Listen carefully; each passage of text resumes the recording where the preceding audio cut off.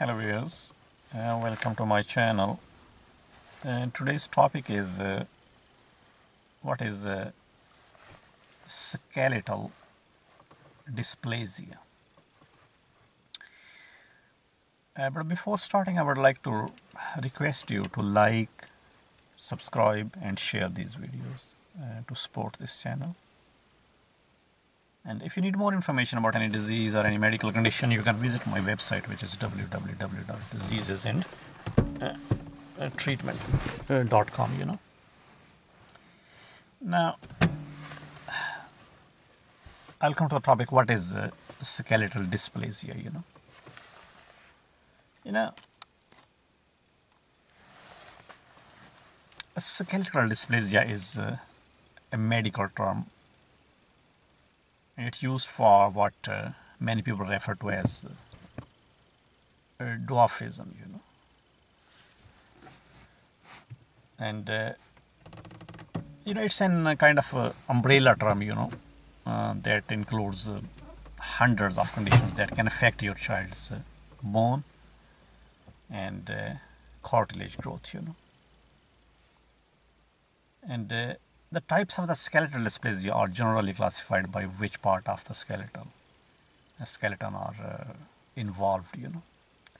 And if your child uh, is born with uh, this condition, you know, or the skeletal dysplasia, they will also uh, have the abnormal differences in the size and the shape of their legs, arms, trunk, and skull, you know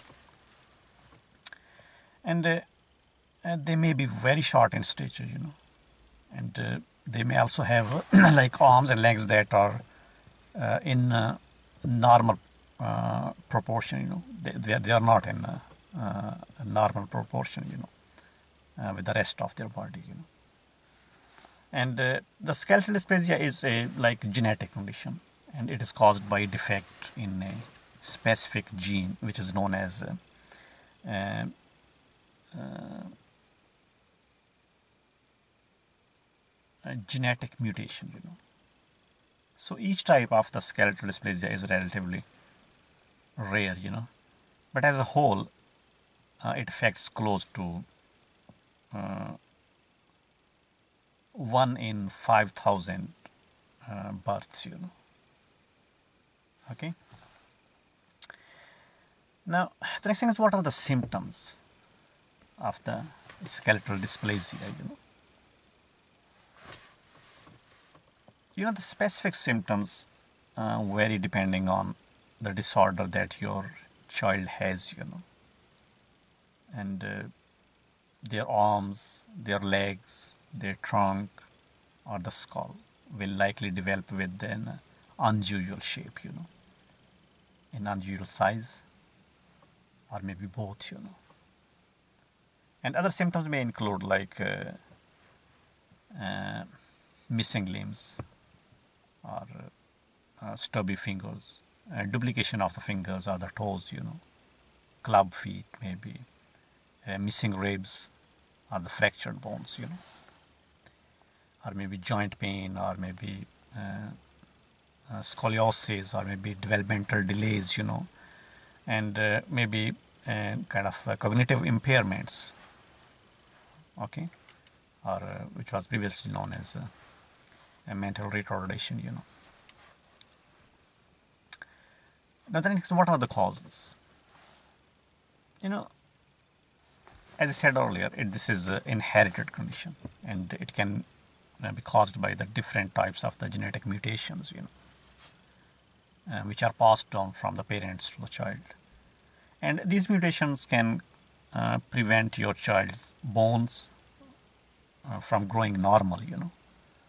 And uh, the skeletal dysplasia runs in families, and you can potentially pass to your children, you know, even if you don't know uh, and, and the family history of it, you know. And the exact genetic defect uh, responsible for your child's skeletal dysplasia may be difficult to pinpoint, you know. And uh, the most common types of the uh, this skeletal dysplasia uh, are like achondroplasia, you know, and uh, it's caused by the mutations of your child's FGFR3 gene, you know.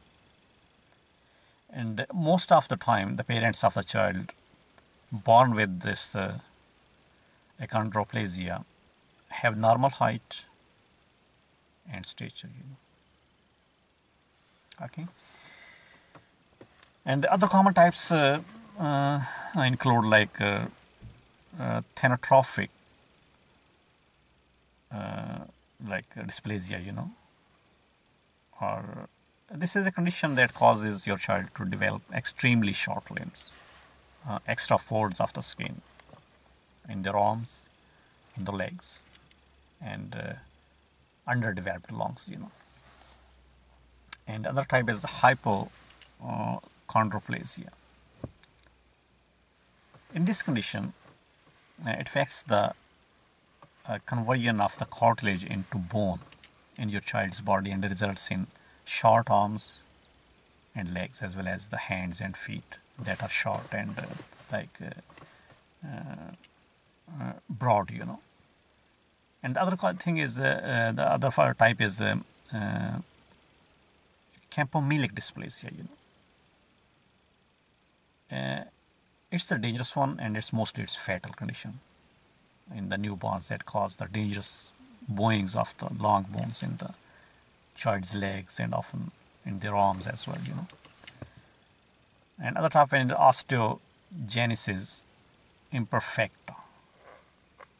And uh, this is another type, you know, where the, there are fragile bones.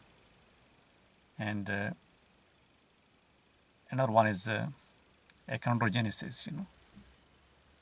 Uh, this is a condition which causes your child to develop short limbs and uh, small body. You know.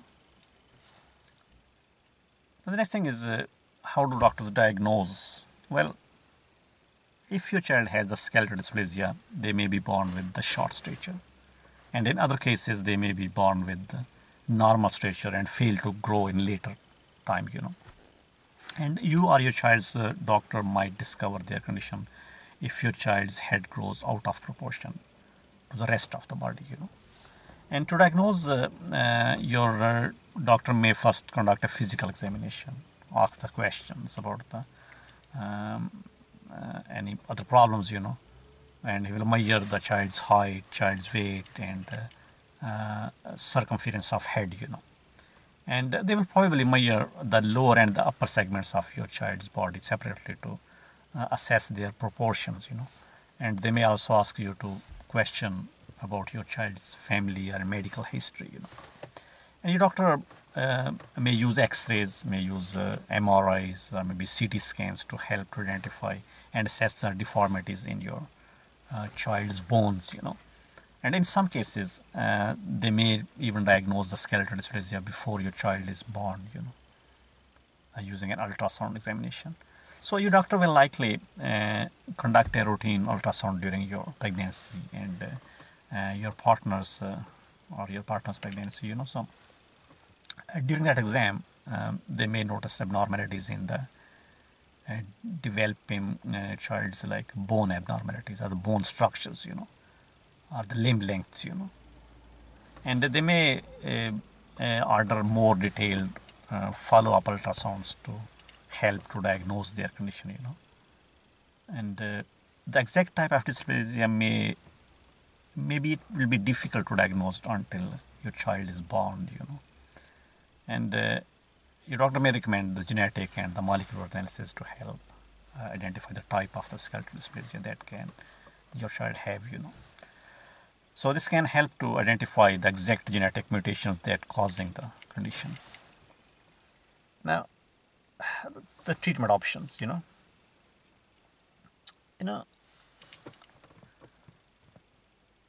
your doctor may work with the team of specialists to uh, develop and to deliver the treatment plan you know and the example is like those uh, specialists may include neurosurgeons maybe neurologists maybe endocrinologists radiologists um, and uh, doctors who specialize in the genetics, you know, or uh, the physical therapist and occupational therapist and others, you know. So there will be a team of doctors, you know, the medical professionals who will be involved, you know.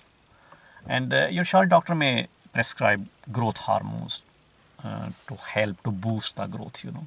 And this type of treatment involves injections with needles every day. Okay, and it may help to increase uh, your child's height, but uh, they will probably still develop below average uh, uh, stature, you know, even with the treatment. And uh, your doctor may also recommend the surgery, for example, uh, if your child's bones are uh, constricting the spinal cord or the brainstem, you know, or maybe the pediatric neurosurgeon may need to remove some bones, you know. And the surgery may also be used to help to lengthen your child's limbs and uh, induce the bone growth, you know, which is known as limb lengthening, you know. And, but there are many possible complications involved in this type of surgery. And uh, it may involve multiple procedures and uh, long recovery periods, you know. So, the doctor may also recommend uh, other treatments and rehabilitation therapies to help to relieve their symptoms and uh, to um, like improve the quality of life you know. Okay? And uh, you know the next thing is about the outlook you know long term outlook you know. You know the long term outlook uh, will depend on the type of the dysplasia. And uh, you know about half of the fetuses with the skeletal dysplasia are stillborn or they die shortly after birth, you know. And some children with the condition survive to into childhood, you know. And others survive into adulthood, you know. And many of them live relatively normal lives. And ask your doctor if you have any questions about your child's health, you know. Thank you very much for watching this video. If you need more information about any disease, any medical condition, you can visit my website which is www.diseasesandtreatment.com. Thank you and goodbye.